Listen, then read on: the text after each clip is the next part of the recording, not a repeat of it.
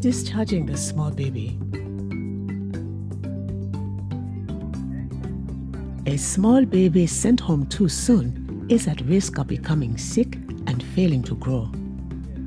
This video will show the five important goals that a small baby should reach to be safely discharged and five ways to prepare the family to care for the small baby at home. Evaluate the small baby for possible discharge when he is healthy and stable. First, the baby's general health should be good with no features of serious infection or danger signs. Second, the baby's breathing should be normal with a normal breathing rate, no chest indrawing, and no pauses in his breathing. Third, the baby's temperature should be normal and stable for three days in a row, either while being held skin to skin or dressed warmly. Fourth, the baby should be feeding well and gaining weight.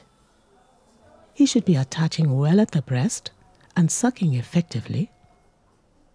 Or he may be partially breastfeeding and taking the rest by cup. If the mother is also cup feeding, she should be expressing effectively and have a good supply of milk.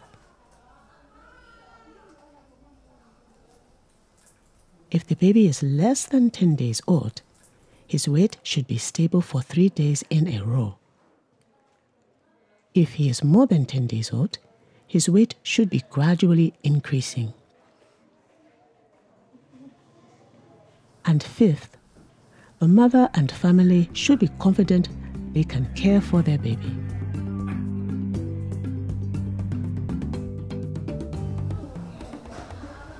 Once you've decided that the baby is ready for discharge, prepare the mother and family to care for their baby at home. Here are five ways.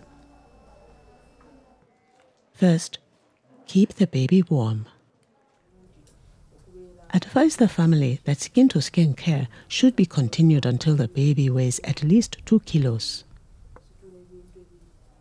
Second, feed the baby only mother's milk as often as the baby wants, at least every 2 to 3 hours, day and night.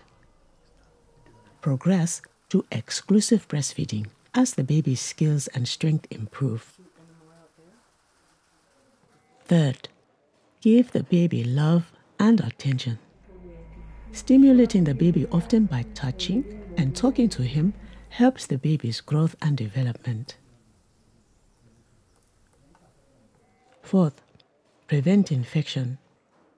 Remind the mother and family members to wash their hands with soap and water before touching the baby, every time they clean stools and urine, feed the baby, and whenever their hands are dirty.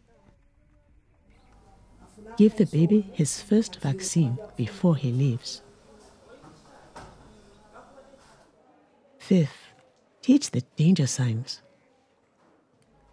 Advise the family to bring the baby to a health worker right away, day or night, if any danger signs occur. Fast breathing, chest indrawing, the chest draws in with each breath,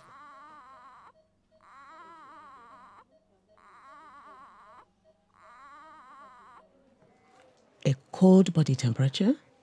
The baby's belly and feet are cold compared to their own. A hot body temperature. The baby's body is hot to touch. Not feeding. The baby doesn't act hungry and may not wake up to feed. No movement.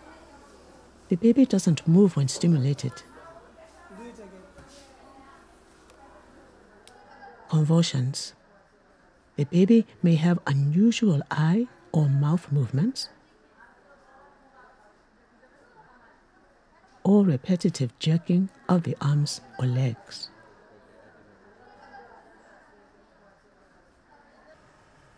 Follow the baby's progress. Give the mother a phone number to call with questions or problems and see the baby twice a week until the baby weighs two kilos and once a week until he weighs two and a half kilos.